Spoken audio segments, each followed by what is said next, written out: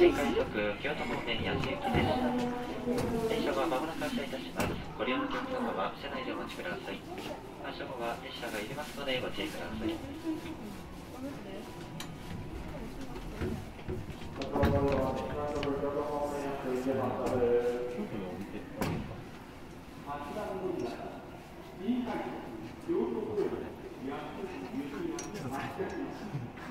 Thank.